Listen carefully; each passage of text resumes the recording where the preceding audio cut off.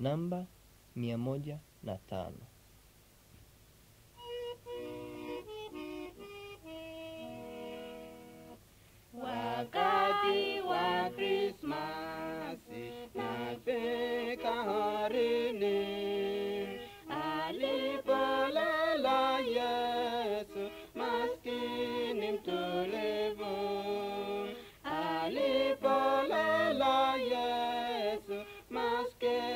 mtolevu,